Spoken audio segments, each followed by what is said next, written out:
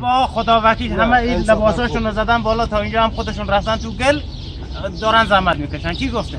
الان شبکه خارجی میگن که طلبه ها کاری نمی‌کنن اینجا حضور شبکه ندارن. خارجی همش دروغ میگن. شبکه های خارجی یکیشون الان بیاد توی مردم. خارجی اگر راست میگن بیان. توی خیابون را برن.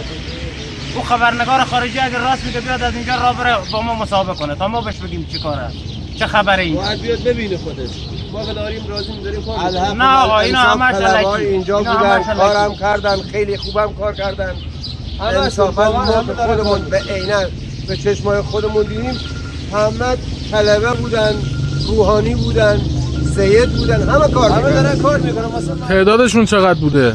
طلبه ها چقدر بودن خیلی زیاد بود دسته. دسته بود تو هر کوچه هر خیابون هر جایی واقعا حضورشون بود حضورشون هم پررنگ خیلی هم پررنگ. عالی بود. شبکه های خارجی رو اصلا ول کن. شبکه های خارجی اصلا همش بلوف و دروغ و تبلیغات سیاسی می‌کنن میندازن ما سیل زدمون. دولت یا ملت یا کسی نبود بلای طبیعی بوده. ولی انتظار داریم از تمام این مردم کمک کنن.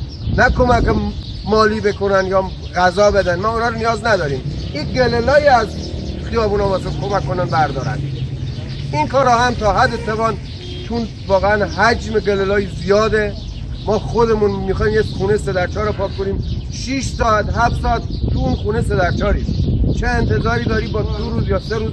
مثلا سپاه ارتش یه خیابون چهار متری از ماسه و شن برداره. سرعت کار چطور بوده؟ عالیه. انصافا عالیه. تا حد توانشون کار یعنی. میان اول بعضی موقع من دو شب نگاه کردم کار کردن. تا زمان اول صبح میان تا موقع نماز میرن غذا و نماز می‌خورن دوباره برمیگردن سر کار.